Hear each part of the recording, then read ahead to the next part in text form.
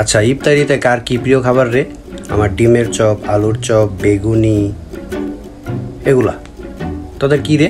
তোদের ফেভারিট কোনগুলা? দোস্ত আমার না চিকেন আইটেমগুলো বেশি ভালো লাগে। দোস্ত আমার না ইফতারিতে তরমুজ আর তরমুজের শরবতটা বেশি ভালো লাগে। দোস্ত আমার না ইফতারিতে দুধ অনেক ভালো লাগে। ইফতারিতে দুধ আবার কাটা হ্যাঁ? দুধ তো মানুষ খাই সেহারিতে যাইয়া। ইয়ে মানে ওই দুধের তৈরি ওই মিষ্টি মিষ্টি খাওয়া গেলে আসছে না? দই, সই, লাচ্ছি, এগুলো ভালো লাগে।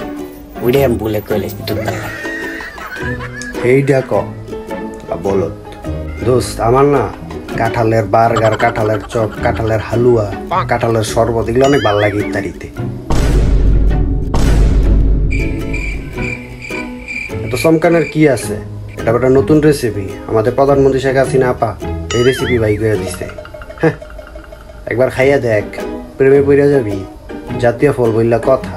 হেই গাইস কি অবস্থা? কিরে তোরা কি নিয়ে কথা বলতেছিস আমাকে একটু বল শুনি। আরে তেমন কিছু না।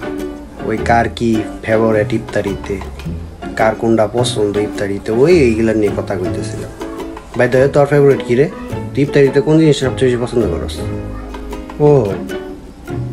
আরে বেটা আমার তো ইফতারিতে বাঙ্গির শরবত না হইলে চলেই না। আমার বাঙ্গি সব থেকে ফেভারিট ইফতারি সবাই এম করে চাই আসুস আমার দিকে।